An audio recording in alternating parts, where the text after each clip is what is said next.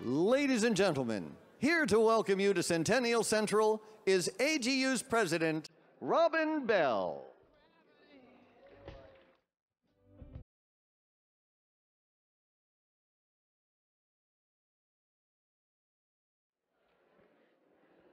Good morning.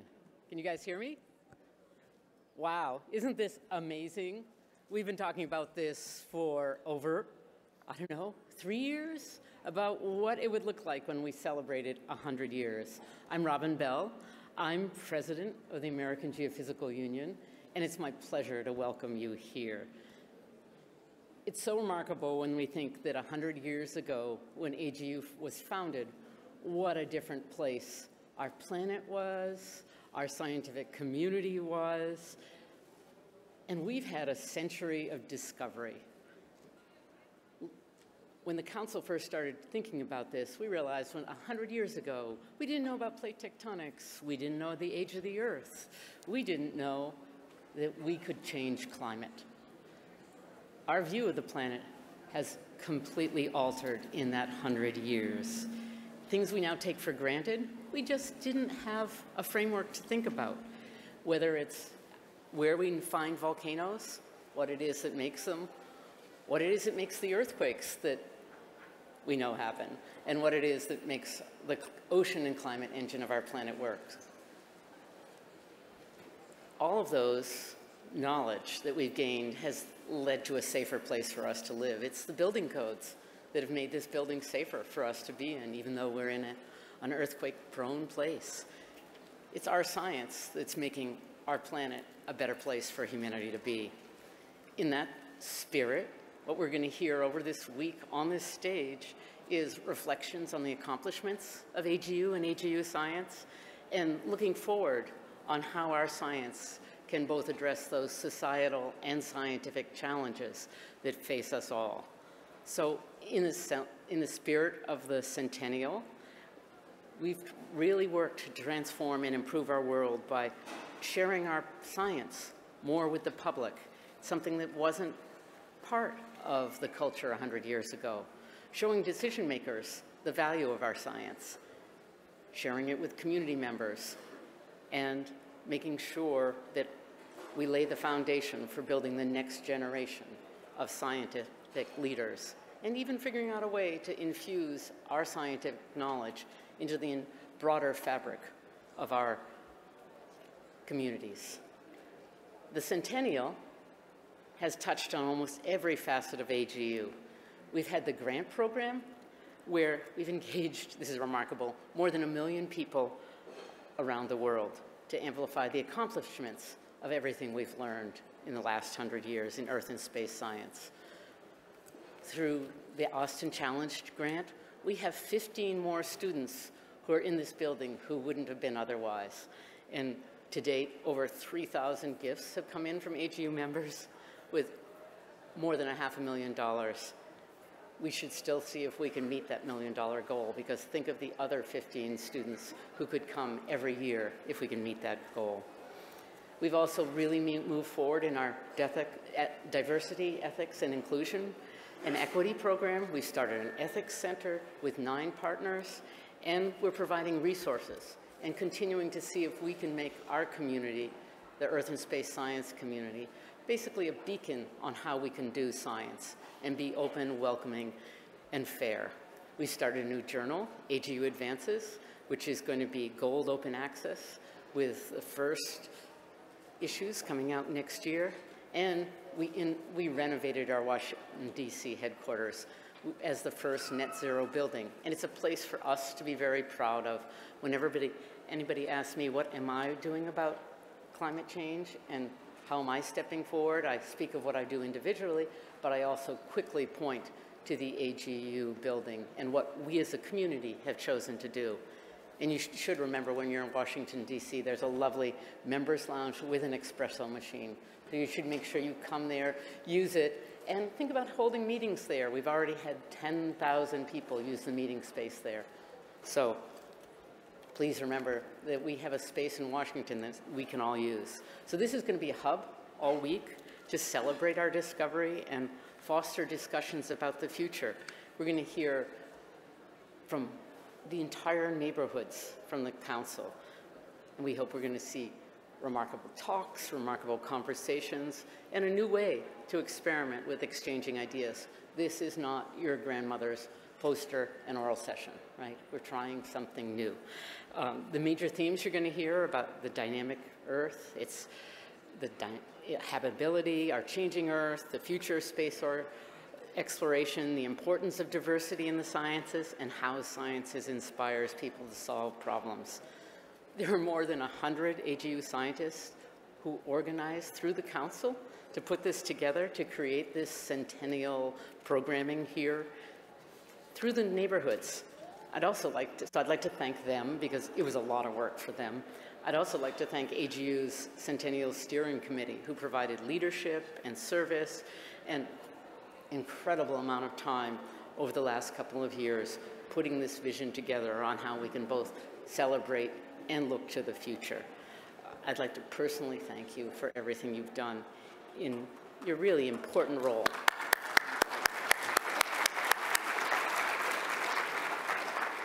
Now we've given them a hand, I'd actually like to ask the members of the Centennial Committee to stand up.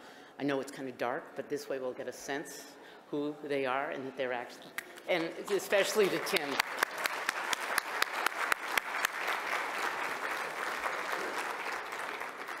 it's really been, yeah, I think it's remarkable because it's, you know, when anybody says there's a centennial, it's like, oh, well, are we just going to have a party? But this isn't just a party, it's a party with sharing and learning. And I think that's all we love to do is learn more. And I think that's one of the, the things through the process, ever since the council started this, realizing how much uh, we can share and learn from one another. So from today until 4 on Thursday, I encourage you to keep on visiting, see what's up with your Centennial app, and there's an entire thread on your app of what you can do. So I'd like to thank all the organizers again enjoy the week for celebrating AGU's centennial. And today we're going to start with the Earth's interior. That's why we have this lovely lava flow here behind us. I should have worn, I have a scarf with a lava flow on it. If I'd realized this beautiful image of lava flow was going to be here, I would have worn my lava scarf.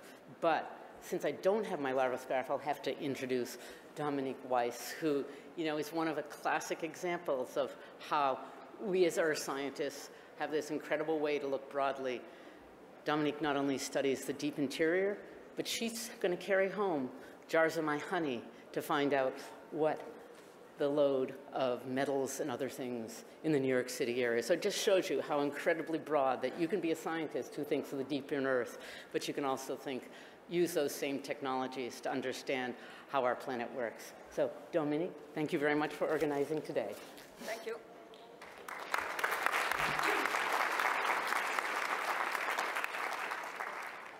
Thank you, Robin.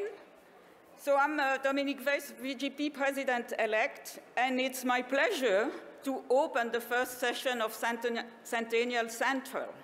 So we have Earth Interior. That means seven sections are going to have talks, keynotes, panel discussions through the day, and our topics are framed around habitability.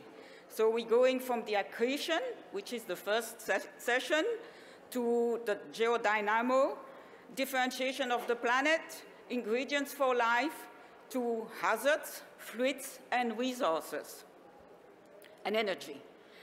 So our first speaker today is Dr. Anat Shahar from the Carnegie Institution, and she will present the, the plenary talk, followed by four flash talks and a panel discussion. The floor is yours, Anna. Thank you very much.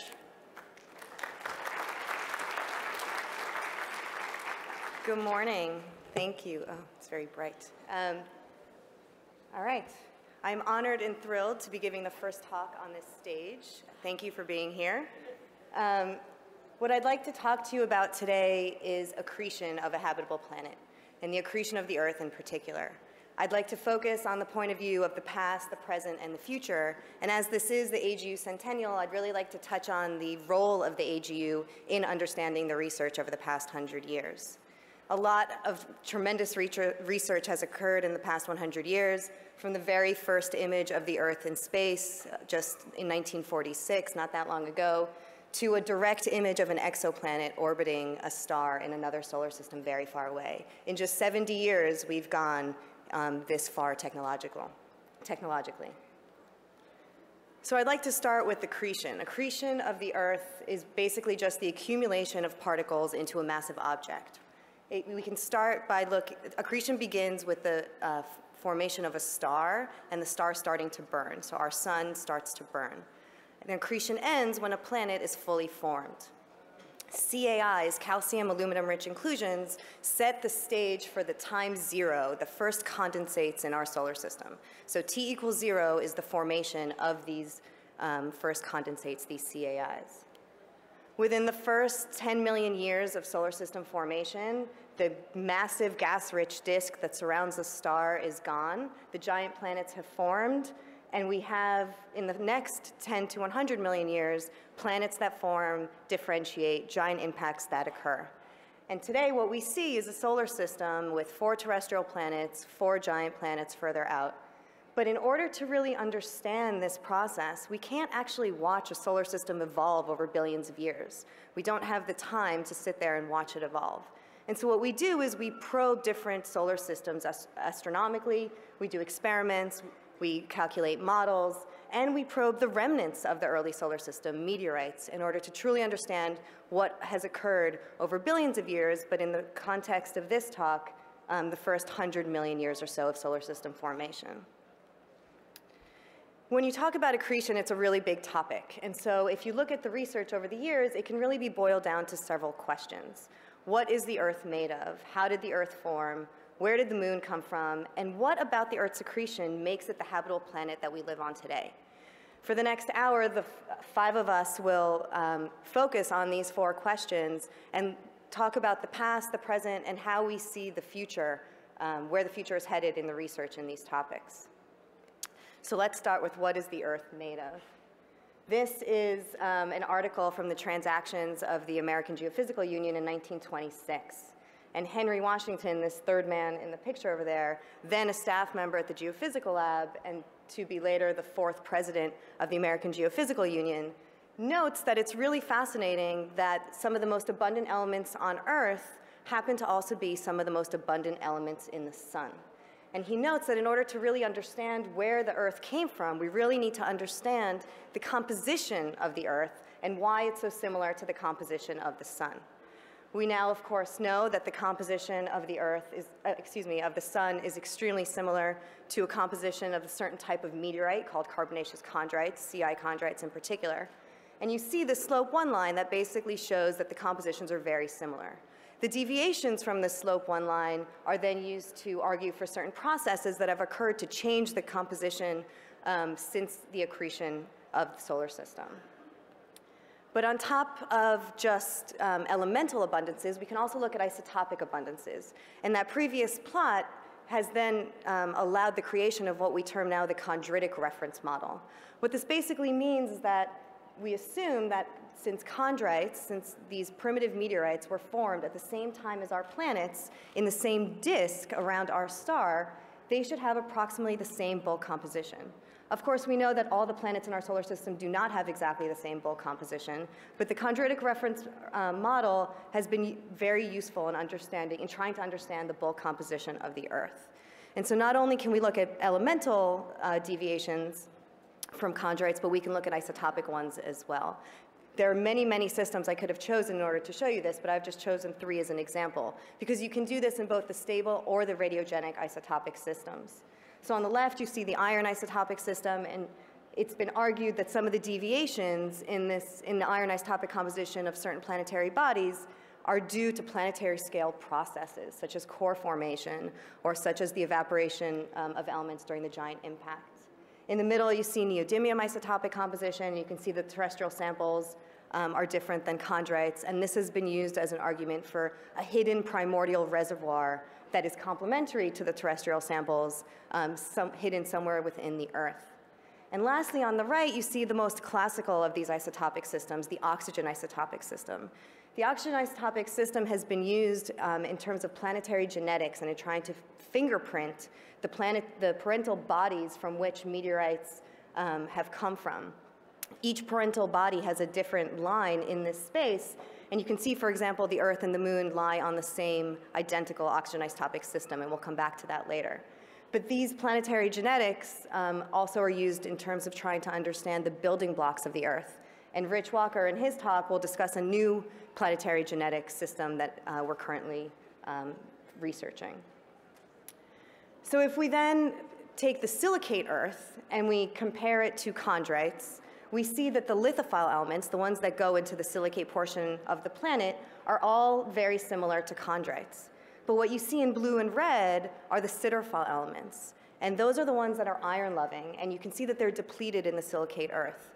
This has been used as a fingerprint of core formation, and the amount of depletion of these elements has been used as a way of trying to get at the conditions under which the core formed. The differentiation of the Earth is by far the most dramatic and the most important chemical event that the Earth underwent.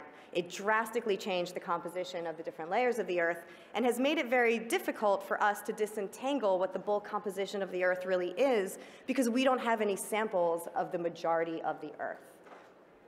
Further, it's been, uh, we now know that there was enough aluminum-26 in the early solar system in order to melt planetesimals even within the first three to four million years of solar system formation, so that we now know that the Earth was actually formed from differentiated bodies and not necessarily from primitive meteorites. So if we go back to um, the very first uh, AGU meeting in 1920, there were seven questions that were outlined as the most important of the time. And the seventh was entitled An Outline of Geophysical Chemical Problems. It's very general. Um, and that was written by, oh, excuse me, that was written by this man, Dr. Sosman. And what he says is he basically explains that one of the most important things in understanding the Earth is understanding how the physical properties of the rocks, of the things that make up the Earth, um, change as a function of the conditions under which they are. So he spends the first half of the paper discussing the surface of the Earth and the different chemical and physical properties of those materials. But then he spends the second half talking about the interior of the Earth. And what he says is that we have no idea. He actually says it's, our knowledge is equivalent to almost total ignorance as of 1920 of what happens at high pressure to these materials. In 1926, Hale writes in the Transactions of the American, American, American Geophysical Union that the center of the Earth is largely a large ball of iron. So if we put these together and we ask what happens to this large ball of iron and these silicates at high pressure, as of 1920, we knew very little. Of course, he's foreshadowing how important experimental petrology and mineral physics will become in the next hundred years. And truly, there have been thousands and thousands of experiments that have been done in order to understand just this. What happens to silicate and metal at high pressure and temperature? Where do the different elements partition as we change the oxygen fugacity, the pressure, the temperature, the composition? What, where do all the different elements partition? This is actually crucially important for the history of the Earth depending on where the different elements partition, you'll have a vastly different evolution of the planet. You'll have a completely different heat budget. You will um, ultimately, um, it, it, that will ultimately tie to the habitability of the planet. Whether or not you have a geodynamo, for example, is tied to the composition of the core versus the mantle.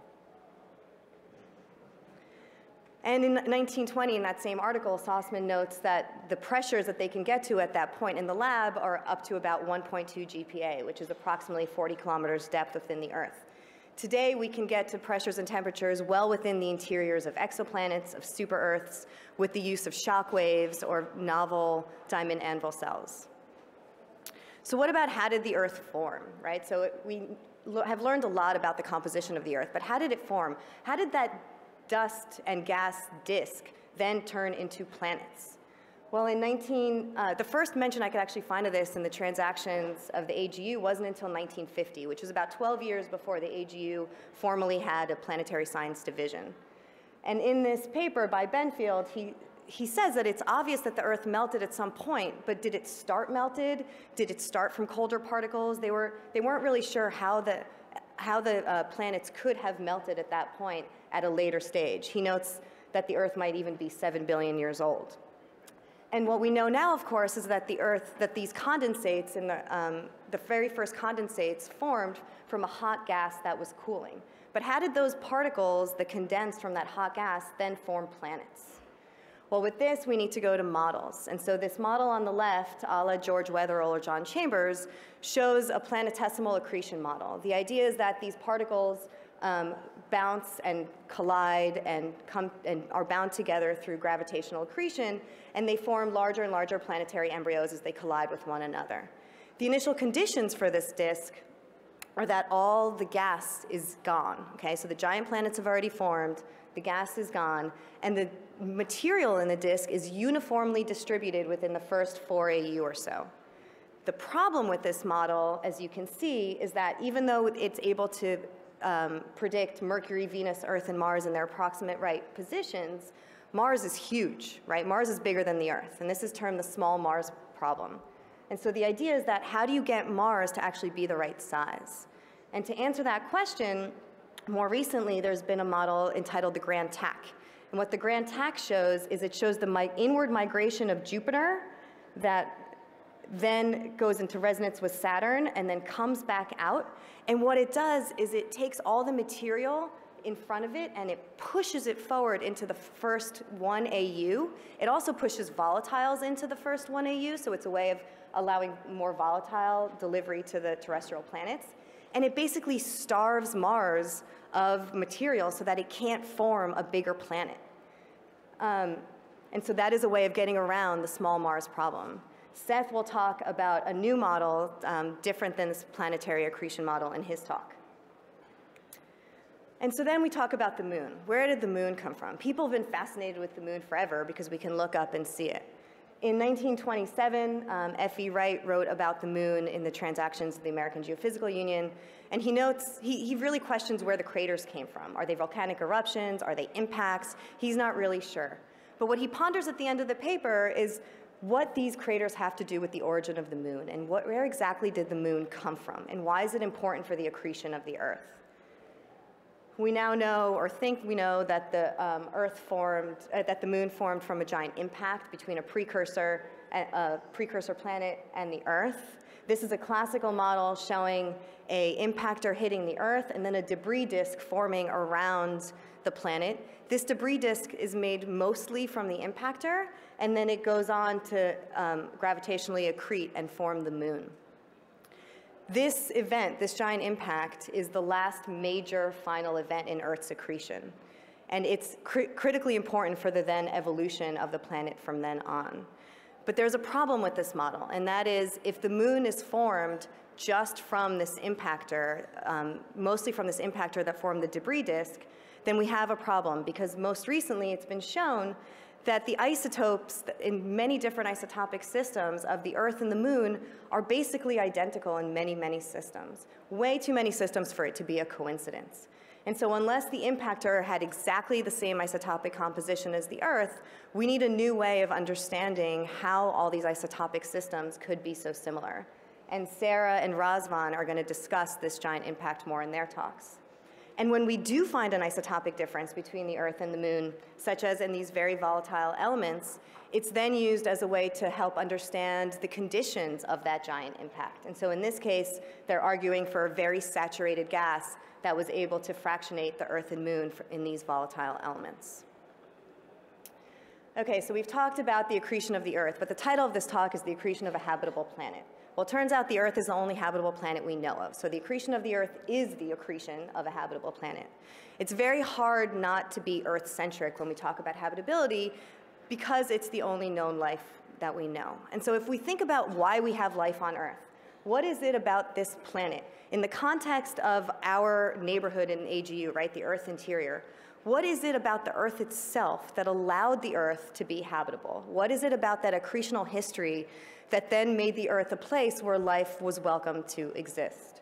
And if we look at certain features of the Earth, for example, the ability to have liquid water, plate tectonics, and a magnetic field, we see that these are really manifestations or outcomes of this accretional history of the Earth. It is the planet itself that has allowed these features to exist. And it's important for the, in, in my opinion, it's important for the history um, of, of the Earth to be a vital part of understanding habitability of planets in general. So as an example, on the left, we have a habitable planet. We have plate tectonics that stabilize um, the climate at the surface and allow heat to be lost, um, which thereby allows a magnetic field to be generated, which then shields not only the water on the surface, but also um, shields the surface from harmful radiation. On the right, we have a planet with a stagnant lid that insulates the interior, and it doesn't allow heat to escape, therefore not allowing magnetic field to be generated and allowing water to be lost to space, thereby rendering a, a too hot and dry surface where life cannot exist. So in the context of the Earth's interior, it is crucially important in the future to understand which of these features is the most important for creating this habitable planet. An enormous amount of work needs to be done in order to truly understand what it is about these features and the evolution of the Earth that has allowed the Earth to be what it is um, today. And we have now hundreds, if not thousands and thousands of other planets to look at and to um, learn from. We now know that our solar system is actually quite unique in terms of its architecture, in terms of the type of planets that we have in our solar system. We don't have a super Earth, for example, which is the most common planet that's been found in exoplanets. And so as we build up our statistics over the years with more and more and more exoplanets, we're able to talk about planet formation and accretion in a more general way because we have many more planets and many more opportunities to look. And truly the future is interdisciplinary. As we have models that, um, with better computing time, our models will get better, uh, will get better. As our experiments are able to get to higher pressures, higher pressures and temperatures, our experiments will get better as new telescopes come online that are larger and that are able to really see smaller objects in space, all of these ways will help us understand and, and really get at the accretion of the Earth and of other planets. But in order to understand it, we really need to work together across disciplines. This is not um, a place where a geochemist can work alone. A geochemist needs to work with a geophysicist and an astronomer, for example, in order to truly understand what it is that makes these planets habitable. And we really need to focus on the Earth in that it is, once again, the only habitable planet we know of yet. So I'd like to finish, lastly, by showing um, this picture. This is a picture of the 1923 AGU meeting. It's on the steps of the Carnegie Institution in Washington, D.C., which is where I work. Um, and these men did a really, really great job and wrote a lot of really brilliant papers that have really grounded and enlightened a lot of the work that we do today. However, the future looks quite different. And the future in this AGU community is much more diverse and will have a lot of really brilliant and wonderful and new and exciting ideas for the next 100 years. So thank you very much.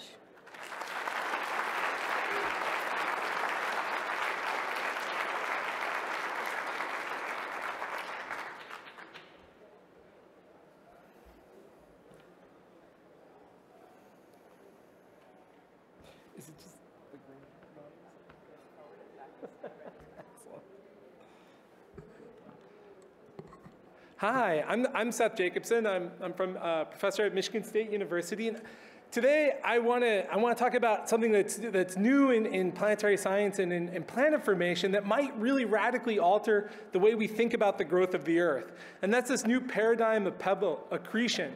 What's very, uh, pebble accretion sort of uh, is necessary to explain the, the growth of the giant planets. And, and today what I'm going to try and do is in five minutes explain to you what physically is going on from an astrophysical perspective. And that's really necessary because I think in order for us to distinguish the planet, the planetesimal accretion hypothesis, or this traditional hypothesis of planet formation, from this new paradigm of pebble accretion, will really require the input of geochemists and cosmochemists. And it's really going to be the geochemistry and cosmochemistry of the Earth that can distinguish between these two hypotheses.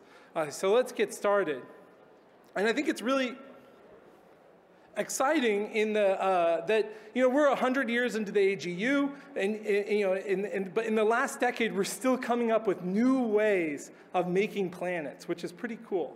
So pebble accretion comes from a problem that actually exists in the outer solar system. So we know that the giant planets must accrete a lot of nebular gas, a lot of hydrogen and helium. And, but uh, this has to occur very rapidly.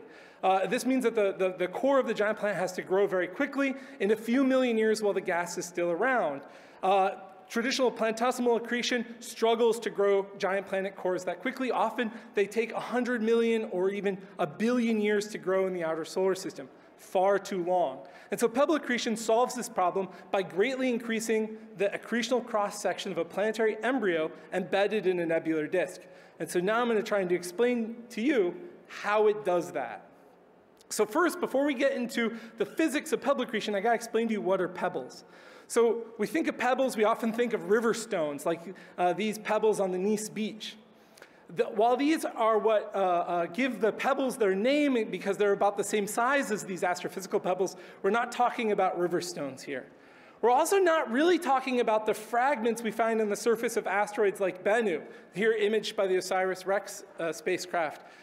The, these are uh, crushed uh, um, rocks that have been broken apart. What we're really talking about when we talk about pebbles are these astrophysical objects that have grown through binary pairwise accretion from the first condensates in the solar system and surviving pre-solar materials, and have grown uh, through collisions and interlocking of grains and van der Waals forces up to what astrophysicists refer to as the bouncing or fragmentation barriers. So from laboratory experiments at drop towers and other low G environments, we've learned that objects can grow to about a centimeter, maybe, maybe millimeters or decimeters in other cases in size, and then they really can't grow any further. And this actually makes a lot of sense intuitively if we think back to those river stones. No matter how hard you throw two river stones, or gently you place them next to each other, they will not make a single object. And that's fundamentally what's at the heart of the bouncing or fragmentation barrier. What's interesting is that this then predicts that disks should be filled with millimeter and centimeter sized objects, and that's exactly what we see when we look at them in the radio. So what is pebble accretion? So here, uh, I'm, I'm gonna show a simple diagram to explain it. We just see energy plotted on the y-axis, and we have our pebble or planetesimal up on the top. And it's going to fall into this uh, uh, potential well, the gravity well created by a planet, and, uh, and we're going to see what happens. So for our planetesimal, which is shown over here, it flies past the planet and is deflected by the planetesimal, and our ball, it goes into the well, speeds up, and then exits the well on the other side. And that's because gravity is fundamentally a, a, a conservative force. Energy is conserved, the energy is transferred potential to kinetic back to potential. But then we think of our pebble.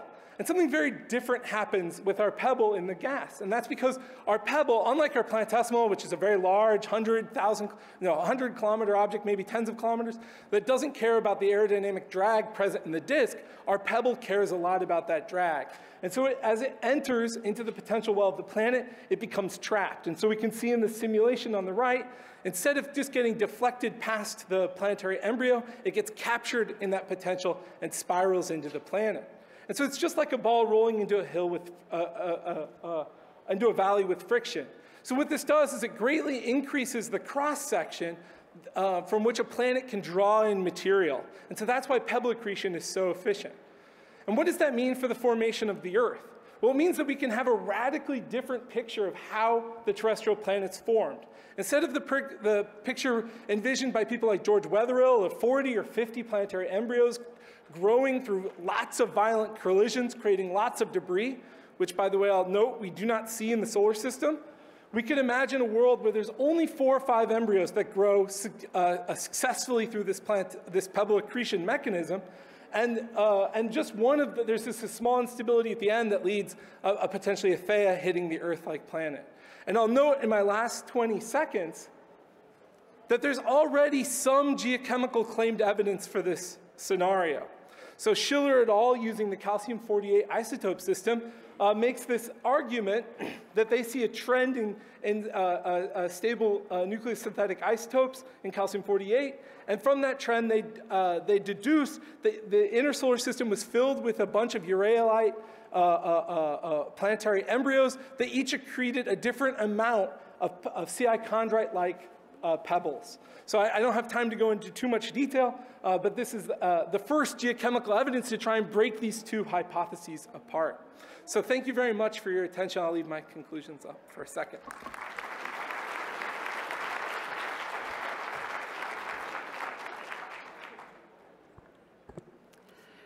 We have known about planets for millennia, but it was only 13 years ago that we wrote down a formal definition for what is a planet.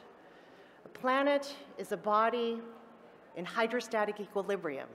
It has enough self-gravity to give the body its rounded shape, like these spherical planets colliding in this image. At the time we came up with this definition, we knew that a body could be too small to be a planet, too cold and small for self-gravity to deform the body into a spherical object.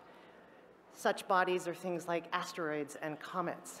But what we have learned in the past few years is that a planet can be too large to be in hydrostatic equilibrium. A few years ago, we discovered a new object that we named a synestia. It is what is made when a planet exceeds the limit of hydrostatic equilibrium. Think of the key parameter being synchronous orbit. Today, geosynchronous orbit is about 35,000 kilometers away. It's about five times Earth radius. But during the energetic process of making a Earth-like planet, the planet can spin quickly enough, perhaps with a day of only a few hours, so that synchronous orbit is much closer, within two times Earth's present radius. The energy of a giant impact is enough to expand the equatorial radius beyond that distance. At that point, it is impossible to describe the object with the equations of hydrostatic equilibrium. In fact, the object doesn't have a simple shape that stays the same with time. It's constantly changing, it's hydrodynamic. This is something that was a surprise.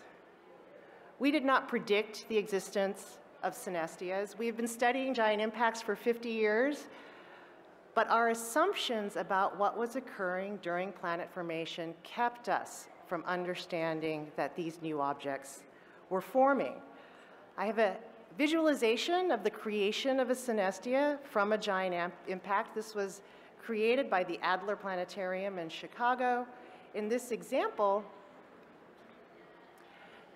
the pre-existing planet is spinning rapidly. It has an extremely oblate shape. There are oceans, atmospheres, and in a few minutes, the surface, the crust, the oceans, the atmospheres are all vaporized by the energy of a giant impact, forming a rock vapor with dissolved water and gases surrounding a high pressure, high temperature liquid interior.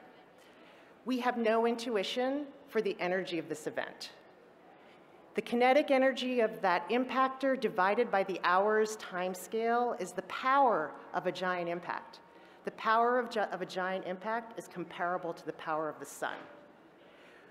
That much power transforms these planets into a new object that we call a synestia. We proposed last year that the reason why our moon has such similar chemical and isotopic characteristics to the Earth is because it formed within the outer regions of a synestia. This is one of many discoveries that occurred over the past hundred years. And admit it, many of our discoveries were actually surprises. When we look forward to trying to understand the, the world of exoplanets and our own planet's formation, remember this anecdote. We only realized recently that there was a limit to the definition of planets. We understood that planets could be too small, but now we understood that, understand that planets can be too big. And when we try to explain the different objects that we see in exoplanets that we don't have in our own solar system, ask yourselves the question, what are we missing? What assumptions are we imposing upon the great diversity of exoplanets that are keeping us from seeing their true nature? And if we can peel away those assumptions, what wonders will we reveal and discover about planets in the universe? Thank you.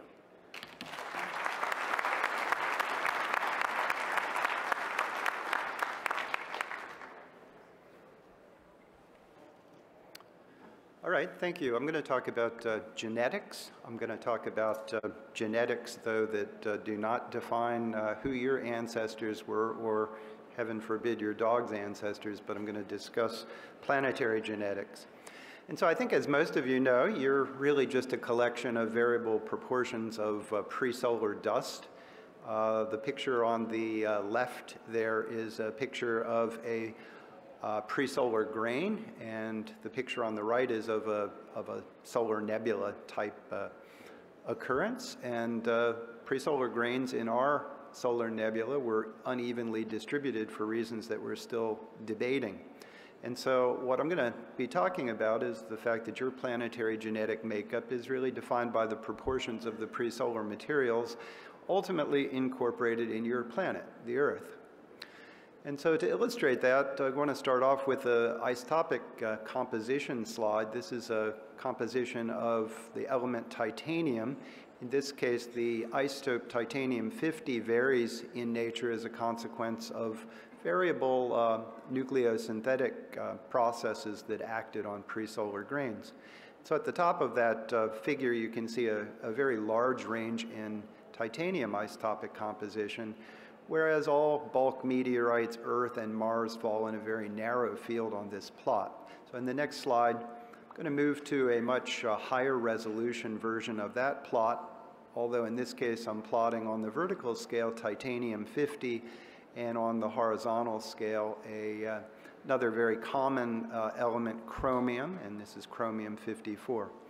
Thing to notice about this slide is that there's considerable variability in the chromium and titanium isotopic compositions of planetary objects. So all of the symbols in that diagram are meteorites. There's also a symbol for Mars. You are in the yellow star there.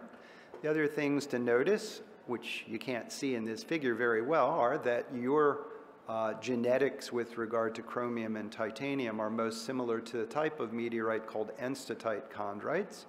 And finally, if you look carefully at this diagram, you'll see that the data fall into two clusters with a gap that is labeled here between the two groups. And about 10 years ago, it was recognized by people working on these isotopic compositions that these two clusters of data really are separate from one another with a gap between. And uh, Paul Warren, in a 2011 paper, defined uh, the red group, which you are a member of, as uh, non-carbonaceous and the blue group, because at the time it consisted almost entirely of carbonaceous chondrites, called that the carbonaceous chondrite type. So uh, we have kind of divided the solar system into what are termed NC and CC groups, which are genetic groups. The other thing to notice in this slide is that the Earth, the yellow star, plots pretty close to the gap and uh, that tells us that although the Earth is NC, it may include a significant proportion of CC material. So some studies have suggested that NC materials formed inboard of the proto-Jupiter, perhaps a Jupiter that was moving in and out, and that CC is formed outboard. So uh, the takeaway home message to start off with here is you are NC, and you can go to the gift shop here and get a We Are NC hat. I also want to uh, look at uh, siderophile elements, which are not mentioned. Siderophile elements are elements that are concentrated in our core because they're iron-loving. A good example of a siderophile element is gold. They're an interesting group of elements because, by and large, the siderophile elements that are here with you on the surface of the Earth and in the mantle uh, were probably added relatively late in the accretionary sequence of the Earth. Again, uh, this is a plot of ruthenium now versus molybdenum. Again, you see red and blue um, groups. You see a gap. In this case, though, the yellow star is furthest from the gap, and this suggests that maybe the siderophile elements uh, that are contained in the silicate Earth uh, are somewhat genetically different from that of the uh, main lithophile elements like chromium and titanium. So your gold stuff is also NC. Uh, in the case of siderophile elements, your closest relative are group 1AB iron meteorites. If you've ever been to Meteor Crater in Arizona, that was made by a group 1AB iron meteorites. And again, the difference in where the Earth plots, and therefore you plot on those diagrams, between the lithophile and the siderophile elements is probably the accretionary sequence. So a lot of questions remain regarding uh, genetics. Uh, did planetary genetics vary radially from the sun? Did planetary genetics vary with time in the early nebula? And uh, how and where and why were these uh, separate uh, genetic groups um, housed for some period of time? So uh, to sum up, this is the takeaway slide. Your closest living um, biological relative is on the left, but your planetary relations are shown on the right. Thank you.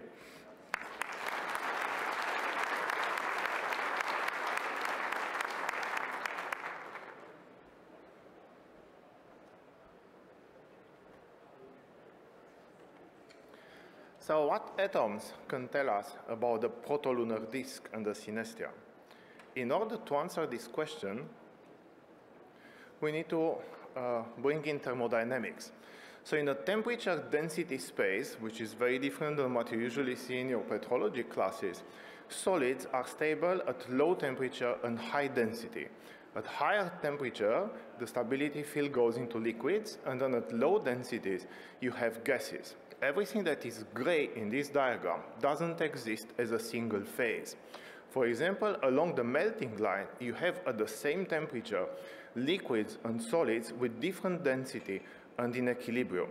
And the same, the same happens the liquid vapor dome, where gases and liquids are at equilibrium, same temperature, different densities. The end of the dome of the liquid vapor dome is the critical point that separates the start of the supercritical fluid. When the impact happened, the initial state of the proto, uh, of the proto-Earth, represented in light red here, was raised, each part of this, uh, of these protons were raised according, at higher densities and considerably higher temperatures according to the shock equations of state, the Hugoniot lines. Once this shock wave of the giant impact passed, the, the, the, resulting disk, the resulting synestia, started to cool down and to condense along paths of isoentropic Uh, thermodynamics, so paths that conserved the entropy, represented here by the green lines. If the critical point is relatively low on temperature and density, then the disk would evolve in one phase as a supercritical fluid for a long time. But if this critical point is high, either in temperature or in density, then the disk would quickly hit the liquid vapor dome, and then you would have a separation of gas and the liquids. The two disks would evolve along different thermodynamic paths, and their properties would be different. So we employed atomistic simulations, ab initio molecular dynamics, to sample the relevant thermodynamic space of the proto-Earth and of the proto-lunar disk. We calculated, for example, the liquid spinodal line, which marks the, the minimum density of stability and metastability of the liquids. Left of this line, you need to have gas and liquid separation. The spinodal line ends in the critical point. Now, we can have a look at what happens with our uh, bulk silicate earth, our, uh, our silicate system, inside the liquid vapor dome and left of the liquid spinodal. These molecular dynamic simulations, the atomistic simulations, give us a lot of information of what happens with the atoms at, this, at these conditions. For example, we can measure diffusion. We can calculate interatomic distances. From there, we can obtain chemical speciation. The yellow atoms here, for example, which are represented by, which are uh, the, the silicon atoms, are bonded most of the time by four oxygen atoms represented in red. They form the SiO4 tetrahedra, which, is which are characteristic to the silicate liquids at these low densities and temperatures. And as I was picking up, you probably noticed that a cavity, an open space, opened up inside the, in the, inside the silicate liquid. Now, in this cavity, you can have molecules and atoms and clusters of atoms that detach from the, from the walls of the cavity, float freely inside, and come back. This is a gas bubble. So we can witness and we can capture the formation of the gas bubbles and the start of the separation of the gases and of the liquids. we can also do thermodynamics. We can go back and calculate those shock equations of state, the Hugoniot And we have done this for the crust, the mantle, and the core. The resulting uh, equations of state tell us that the synestia or the protolunar disk evolved at high temperatures most of the time as a superliquid fluid as a single phase. Such a disk should be well mixed. We also predict partial core vaporization during the giant impact, and we can estimate the loss of volatiles. Thank you.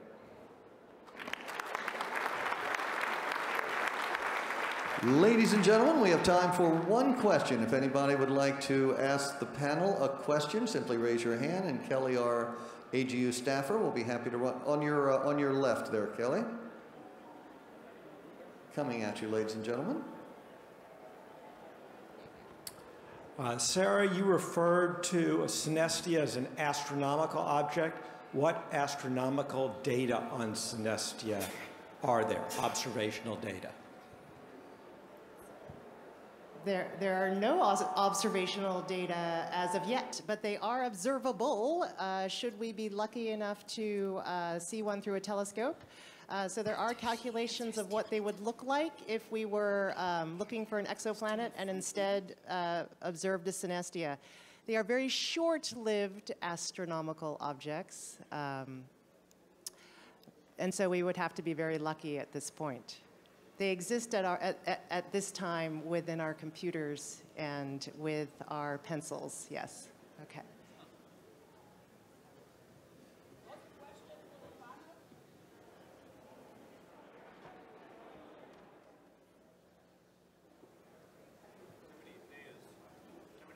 were there in the inner solar system and what was their fate?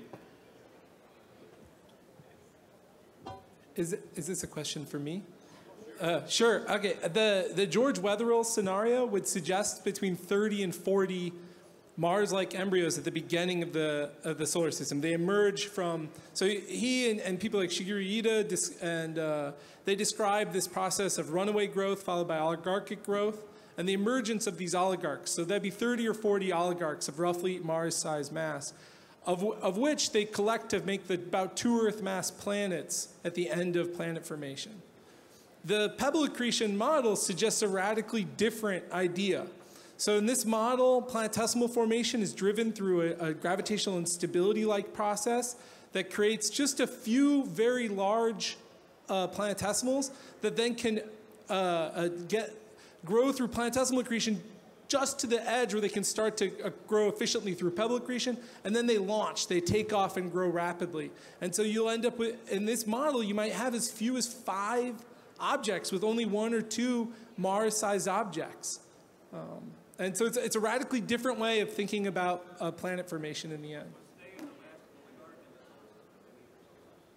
In, the, in this model, yes, Theia would be the last one. And so perhaps uh, people have talked about a, a, a, a giant planet instability, uh, a Nice-like instability to describe the orbits of the giant planets. Such an instability could also have triggered uh, an instability amongst the terrestrial planets. It could have led to perhaps our fifth, our lost uh, embryo striking uh, the Earth, the proto-Earth, and creating this, uh, this giant impact that we see.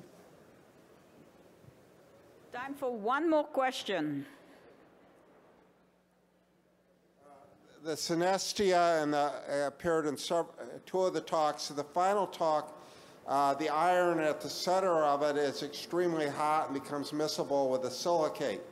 Uh, uh for the actual Earth we have, this seems to run afoul of tungsten isotopes, and that the tungsten isotopes would re-equilibrate between the um, metal and the core, and we'd have chondritic uh, tungsten isotopes rather than uh, highly fractionated ones. So uh, comment maybe from both of you or one, which whoever wants to take it. Um, so our chemical evidence for accretion bounds the amount of iron that could dissolve with the silicate. And so it does depend on the specifics of the giant impact, how much could become dissolved, because uh, the, the cores do not break into fine enough pieces to, to completely interact with the mantles. Please join me to thank the panel. They did an amazing job at starting this day. If, if anybody is interested in discussing this any further, the panel is going to move next door to the networking space, and in five minutes or so, the next section will go on. Thank you.